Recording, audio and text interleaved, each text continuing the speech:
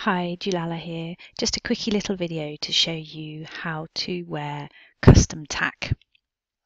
So I'm sat on um, my warm blood horse here um, with the standard tack and I want to use some third party tack. But as we know, if I take off my tack, like so, the AO disappears because that's held inside the tack. So how do we wear third party tack and still have an AO. Okay.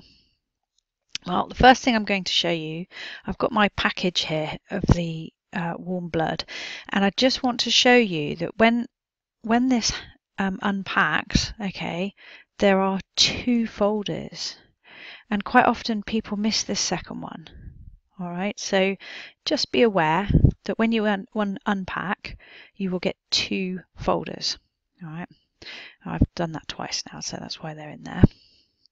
So you get your standard horse folder, which has um, the tack in it with the AO.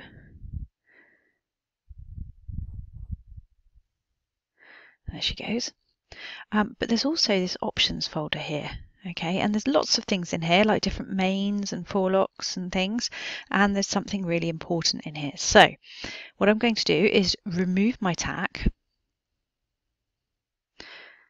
and we'll see the AO disappear with it.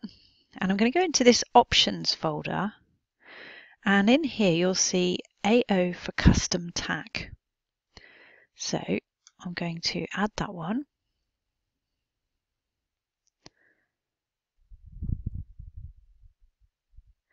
And there she goes. Okay.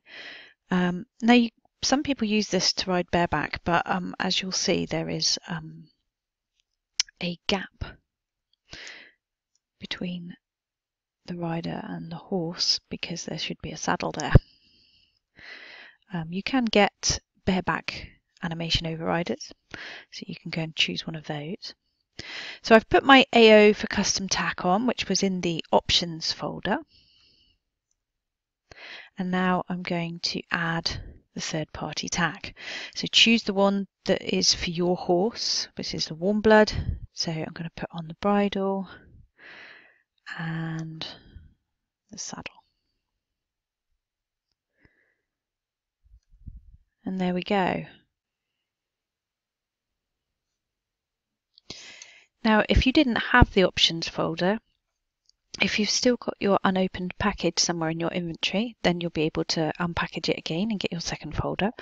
Um, if you don't, have it or you can't find it, then pop along to Waterhorse. They have a redelivery terminal and you'll be able to get a redelivery and this time wait for the second folder.